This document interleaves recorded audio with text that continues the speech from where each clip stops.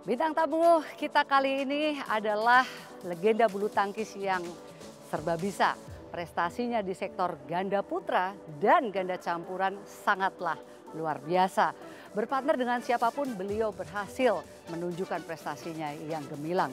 Di dunia kepelatihan, beliau juga sudah berhasil menghantarkan anak didiknya untuk meraih prestasi yang bergengsi. Dan saatnya kita ngobrol bareng Christian Hadinata atau yang akrab dipanggil Kokris. Tapi ngomong-ngomong gimana ya Kokrisnya? Eh, itu Kokris. Yuk, langsung saja kita ngobrol dengan Christian Hadinata.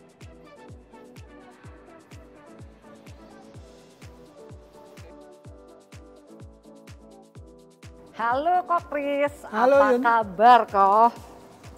Aman, Aman, sehat. baik kok. Ya.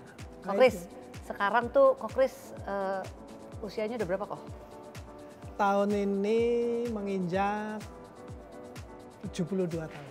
Waduh, 72 sama tahun lahir aku beda-beda dikit. Kok Kris, 72 tahun kok Kris tuh eh, gimana kok masa pandemi kok Kris gimana sih ngadepinnya? Apakah kok Kris merasa nggak nyaman atau gimana kok? Ya biasa aja sih Yun. Yang penting eh, kalau saya masih bisa latihan Yun, ya, untuk eh, jaga kondisi sehat, ya. kumpul sama atlet, pelatih, ya, Udah, kok itu yang udah paling istirahat yang cukup. jadi itu aja. Jadi kok Ya. ibaratnya pandemi apa enggak, kok Kris tetap melakukan aktivitas yang sama. Sama. Nggak ada takut, ngeri gitu kok. Ya paling seperti jalanin sih tetap apa protokol kesehatan sih. Tapi kalau latihan kan mesti buka. Nah iya makanya. Iya. Tapi maksudnya pandemi ini kok Kris tetap latihan?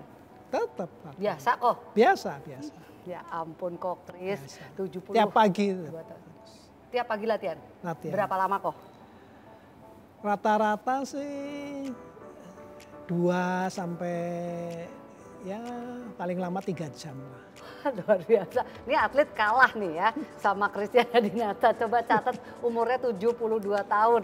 Kok Kris, Ya. eh, jadi kok kan tadinya di Jakarta, sekarang harus ke Kudus, karena Kudus, pandemi. ya. Jadi Ya. Kok Kris bolak-balik gini terus kalau di Kudus ini Kok Kris eh, kegiatannya apa aja kok?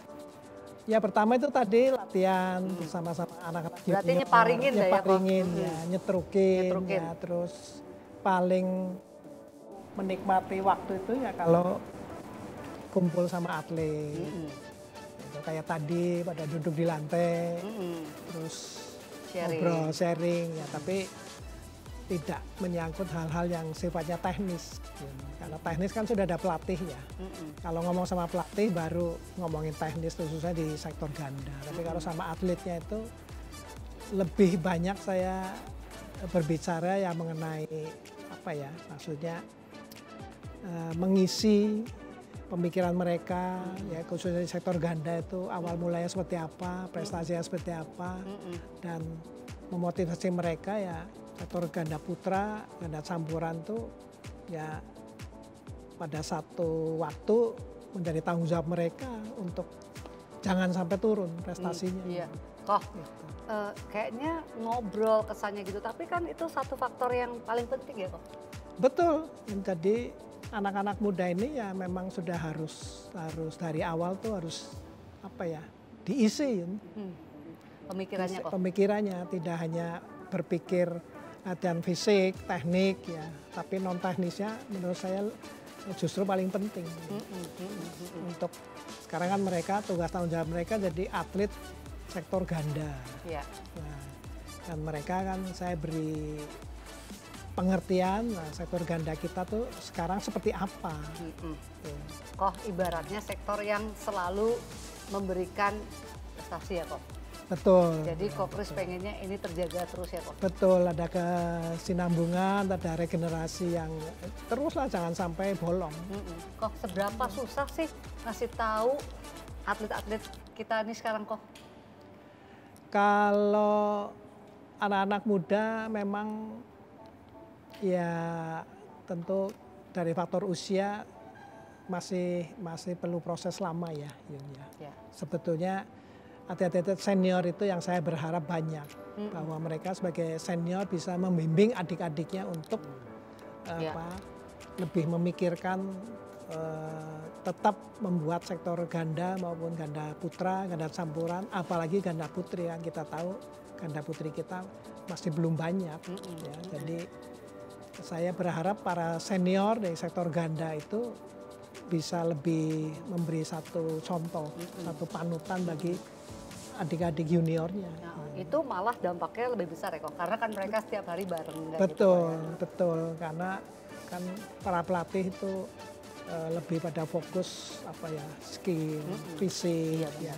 Jadi justru pemain-pemain senior itu yang yang lebih bisa membimbing adik-adiknya. Dan biasanya junior-junior itu kan segan Iya kok. sama senior. Dan faktor non teknis juga sekarang ini penting banget kalau ketika rally point gitu ya, kok. Betul. Kok Kris ya. Iya. Nah, kok mau nanya, ini kan 72 tahun kok Kris masih sibuk ngurusin eh, badminton gitu ya. Keluarga gimana kok? Keluarga sih dari awal memang apa ya ya sangat mendukung Yun, karena mereka tahu dunia saya itu dunia bulu tangkis, dunia di lapangan. Iya kok. Iya. Dah, sebentar. Kok Kris itu mulai banget latihan umur berapa kok? Oh ya dari kecil, Yun, dari SD.